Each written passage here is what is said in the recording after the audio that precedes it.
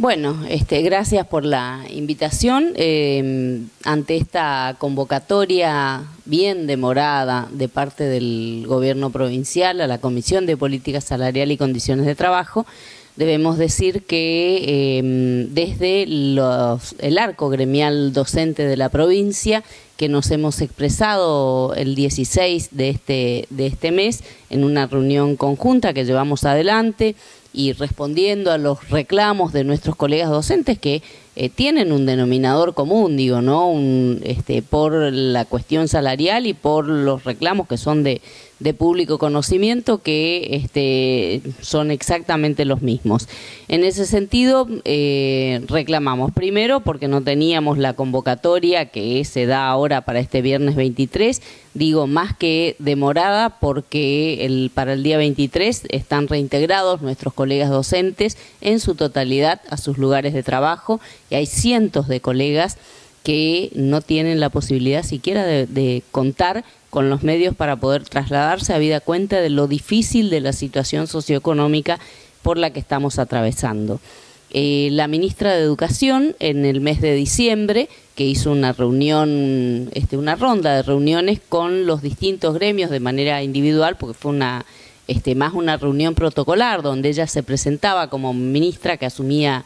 este, la cartera educativa eh, escuchó las demandas de las distintas entidades y en esa oportunidad se había comprometido a convocar a los gremios docentes a esta comisión de política salarial, como manda la ley, desde el 15-20 de enero. Bueno, no sucedió esto. Lamentablemente el gobierno ha dejado transcurrir los días y estamos de cara ya al, este, a la fecha fijada para el, el inicio de clases sin ningún tipo de definición. Y con la situación salarial este, más que agravada, teniendo en cuenta que eh, venimos de atravesar un año con un conflicto irresuelto por este incremento irrisorio que el gobierno ha impuesto al sector docente en el año 2017, que fue de un 7,5% frente a una inflación que no estuvo por debajo del 25%, lo que nos llevó a perder un 17% de poder adquisitivo. Eh, razón por la cual en esta reunión del 16 de febrero de los gremios docentes, de la gran mayoría de los gremios docentes de la provincia, hemos resuelto eh, plantear en esta reunión del día del próximo viernes, la primera reunión de política salarial y condiciones de trabajo, la necesidad de fijar un piso salarial no techo, rechazamos todo techo que pretende imponerse, un piso no este, que contemple lo perdido de poder adquisitivo del año pasado, eh, más lo que se perfila como inflación para este año, que al día de hoy es no inferior a 20, digo, ¿no? Para el 2018, dejando la discusión salarial abierta con carácter permanente para ir eh, corrigiendo, de acuerdo con el comportamiento de la economía, los, este, los puntos de incremento de nuestros sueldos, porque la verdad nadie sabe que, este, cuál es la situación que tendremos en el mes que viene, ¿no? Con el tema de la inflación y el costo de vida, este, por lo que venimos viviendo, con el aumento de los combustibles, que sabemos que este, se incrementan este, estos y arrastran el, la suba del costo de todos los elementos de la canasta familiar el tema de este, los tarifazos, que nadie nos pregunta si podemos o no podemos pagar, hacer frente, y los imponen este, sin inconvenientes. Realmente es una situación eh, que se hace cuesta arriba y el gobierno debe responder eh, positivamente con respuestas medianamente satisfactorias que nos permitan a los trabajadores de la educación eh, tener la posibilidad de poder garantizar un ciclo lectivo medianamente normal como el que realmente merecemos, que es normal completo, digo, ¿no? Pero este, en estas condiciones debemos decir que, eh, bueno, la respuesta de qué va a pasar en pocos días más con este, las clases la tiene, la tiene el gobierno. Veremos qué pasa el día viernes en esta reunión de política salarial y qué oferta es la que hace el gobierno a los docentes, ¿no? Nosotros, este, bueno, surgió de la reunión de la comisión directiva de ATECH mm, del día jueves 15 de, febrero, donde, este, bueno, eh, hemos acordado con nuestros colegas en el seno de la Comisión de ATECH em, hacer este, un llamado ¿no? a, los, este, a los demás gremios hermanos del sector,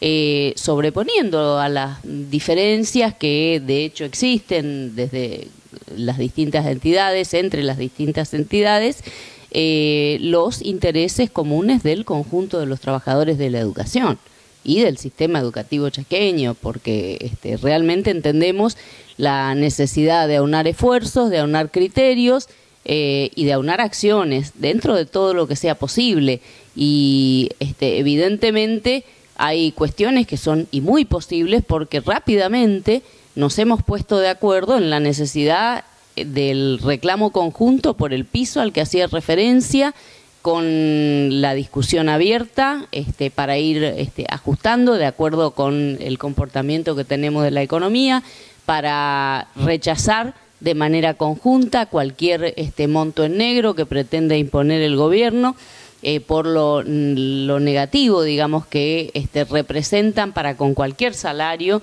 este, y nosotros reivindicamos desde ATECH que la lucha permanente que llevamos adelante en la provincia del Chaco ha permitido que a la fecha no tengamos en la política salarial docente provincial eh, montos en negro en alguna oportunidad hemos tenido, como el presentismo, como, y hemos batallado fuertemente para que desaparecieran como tales y se incorporaran al sueldo, al sueldo básico, digamos, ¿no? Este, al sueldo en blanco del, del docente de la provincia. Eh, cuestión que debería suceder con el incentivo docente y no pretender en el orden nacional y no pretender borrarlo este, de un plumazo como este, bueno se anuncia no desde el gobierno nacional. Y en este sentido también decir que desde ATECH en particular hemos eh, desde que se discutía la ley de financiamiento educativo allá por el 90 y algo eh, nosotros planteábamos nuestro rechazo a que se estableciera eh, como monto en negro o cifra no remunerativa y no bonificable porque directamente a los docentes jubilados no los abarca porque definitivamente a los docentes que estamos en actividad y nos vamos a jubilar en, su momento, eh, nos este, condenan a una jubilación miserable desde el vamos, pagándonos montos en negro, porque para cuando este, vamos a acceder a la jubilación no se tienen en cuenta este, para el cálculo del haber jubilatorio, o sea que tiran los saberes para abajo, digo, ¿no? Además de representar los montos en negro, este, una de las mejores formas de desfinanciar las obras sociales, porque tampoco hay aportes patronales, digo, que se hagan este, sobre ellos. Eh, y en este sentido lo planteamos también con autoridades de ATECH porque hemos llevado adelante durante años eh, reuniones de manera conjunta con gremios docentes de distintas provincias del país. Hemos planteado a diputados, senadores por nuestra provincia, por otras provincias, eh, la necesidad de la modificación, primero que no se estableciera desde que era proyecto, cuando se estableció de la modificación de esa ley para que se dirigiera al básico docente de cada, de cada jurisdicción del país ese fondo de incentivo docente, digamos, que bueno, hoy se pergeña para desaparecer a partir del año que viene, este, sin con fondos y todos, ¿no? Y hasta hoy lo que lo que se anuncia por los medios periodísticos, por lo menos y lo ha anunciado el propio gobierno provincial que este habría surgido como informe de nación en el Consejo Federal de, Educación es la desaparición sin contemplar la incorporación de los fondos, digamos, este, que corresponden al incentivo este, al sueldo básico, que es el reclamo ¿no? que este, planteamos y llevamos adelante. Eh, obviamente que rechazamos categóricamente, y esto también lo hemos manifestado de manera conjunta con los demás gremios docentes de la provincia en este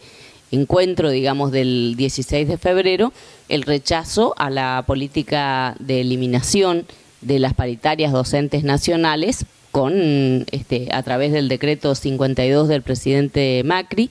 eh, contraviniendo lo que es la ley de financiamiento educativo y exigiendo, por supuesto, que se cumpla la ley tal cual está establecida y que no ha sido reformada, ¿no? que exige la convocatoria de las paritarias docentes nacionales eh, que tienen como objetivo fijar el piso salarial para el docente inicial del país y también establece la obligación indelegable para el Poder Central, para la Nación, eh, de mm, auxiliar financieramente a las provincias para que todas aquellas que no alcancen con sus propios recursos a garantizar ese piso que mm, para el docente inicial que se fija en esas paritarias, este, lo puedan hacer, digamos, ¿no? Bueno, nada de esto se cumple. Ya el año 2017 el Gobierno Nacional no ha convocado directamente a las paritarias y este año le puso este, el broche final, digamos, con el tema de este decreto que sumiéndonos además a los docentes y a los argentinos todos en un alto grado de inseguridad jurídica porque este, realmente pretender reformar una ley con un decreto que es un instrumento legal inferior habla a las claras, digamos, de eh, bueno la el, este, del gobernar a decretazos que realmente no nos merecemos los argentinos. Claro, miren, nosotros tuvimos una primera convocatoria de la ministra de Educación, este, que llegó antes de ayer, eh, a ATECH, donde decía que la reunión de política salarial y condiciones de trabajo iba a darse este viernes a las 9 de la mañana en el Salón Obligado de Casa de Gobierno. Ayer recibimos una segunda convocatoria eh, ratificándose la reunión para el viernes a las 9 de la mañana, pero cambiándose el lugar de la reunión para realizarse en la Casa de las Culturas en el cuarto piso y limitando la participación de los representantes por cada gremio eh, solo a tres eh, personas. nosotros rechazamos esta limitación que se pretende por parte del Ministerio de Educación porque está efectivamente al margen de la ley. Lamentamos que la ministra de Educación no, no, tenga presente, digamos, lo que establece la ley del Estatuto del Docente respecto de la Comisión de Política Salarial y Condiciones de Trabajo. Es más, establece este, tanto la ley como el decreto reglamentario que estas reuniones son abiertas de carácter público, independientemente de que quienes participen eh, no en representación de los gremios no tengan voz este, ni voto, digo, ¿no? Pero además este, están claras las reglas de juego allí. Eh, si nos piensan decir que es por el lugar reducido, bueno, caramba, tuvieron eh, todos los meses de vacaciones para convocar a la Comisión de Política Salarial y hoy van a buscar un, lugar de, de dos por dos, digamos, para hacer la reunión con la excusa de que este, no vengan más de dos o tres dirigentes por, este, por gremio. La verdad que este, nos parece una actitud innecesaria la que asume el Ministerio de Educación, este, poniendo, pretendiendo establecer un escollo que obviamente lo rechazamos de plano. Nosotros vamos a participar eh, con la comisión directiva de ATECH en pleno, como lo hacemos siempre, y en el marco de lo que establece la, ley del estatuto del docente. ¿no? Nos parece que em, poner este tipo de, ingredientes para desviar el eje de la discusión, este, bueno, ya es una práctica vieja de los distintos gobiernos a su turno. Eh, lo que debe quedar en lo que debe quedar en claro es que el planteo concreto es eh, uno solo, que está ratificado por el arco gremial docente y es a lo que debe responder el gobierno, más allá de que quiera entretenernos con la, pelea de cuántos sí o cuántos no este, para participar dentro de la reunión, ¿no? Porque lo único que tienen que hacer es respetar la ley, que nosotros la vamos a hacer respetar, y en esos términos vamos a participar. Bueno, la verdad que nosotros como ATECH en particular siempre hemos sido muy cautelosos porque... Mm, Vieron que, como dice el viejo dicho popular, el que se quema con leche ve la vaca y llora. Este, bueno, nosotros ya mm, hemos visto muchas vacas a lo largo de tantos años, este, ganados completos podemos decir, y mm, la verdad que eh, no nunca aventuramos ninguna este, digamos, respuesta que mm, posiblemente pueda surgir, pues se dicen tantas cosas que después a la hora del, este, de la verdad, digamos, no se condice con lo que se anuncia por allí, ¿no? Así que aguardamos que el gobierno realmente el gobernador Pepo ha dicho semanas anteriores, este, ha ratificado, mejor dicho, porque así en esos términos lo planteó, que la educación este, pública es una prioridad para el gobierno. Bueno, nosotros eh, hacemos votos para que lo que ha confirmado el gobernador respecto de estas semanas anteriores eh, realmente lo demuestren en los hechos con las acciones, ¿no? Y que este, sin dudas mm, va a resultar más que positivo para que entre todas las partes definitivamente podamos garantizar un ciclo lectivo normal como el que realmente merecemos todos los chaqueños. Pero la última palabra, sin ninguna duda, que la tiene el, el gobierno respecto de la definición política que tome para brindar como respuesta al reclamo docente, que lamentablemente el salarial siempre termina siendo el eje central, no es el único. Hemos ratificado también con los otros gremios, por ejemplo, la necesidad de la resolución inmediata de un gravísimo problema que ha generado el propio gobierno, como es el tema de los reconocimientos médicos, centralizando en salud ocupacional en resistencia y este, perjudicando al conjunto de los docentes de la provincia. ¿no?